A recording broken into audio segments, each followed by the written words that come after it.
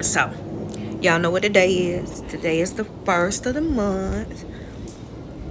Y'all should be into blowing your cinnamon. If you've been watching me for a while, you already know what it is. If you have not, um, I'll pin it for you so you can watch that video on how to blow your cinnamon for the month.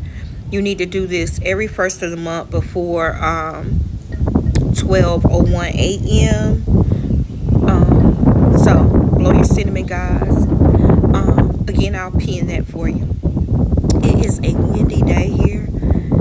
It feels kind of chilly to me, but other than that, I'm going to do some wind cleansing on today. Um, this first of the month, I'm going to manifest bookings.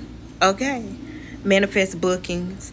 Um, I do have a client work this Sunday, May the 7th, which is going to be a big one. Um, but y'all know that's when I do my healing work and my cord cutting work. My blessing works is on a good old Sunday.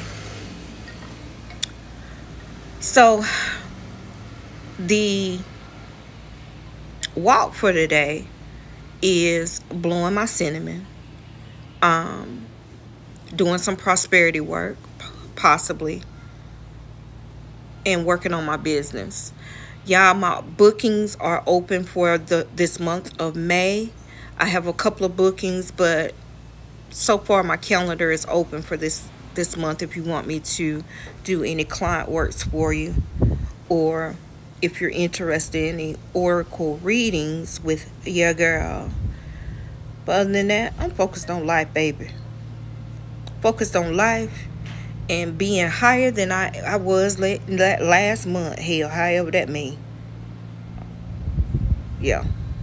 We're gonna, we focused. That's the word of the month. Focused. Focused.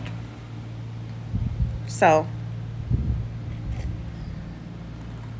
I'm also recording some more videos. I'm to upload those videos to my YouTube and also give you guys some more ritual work to do.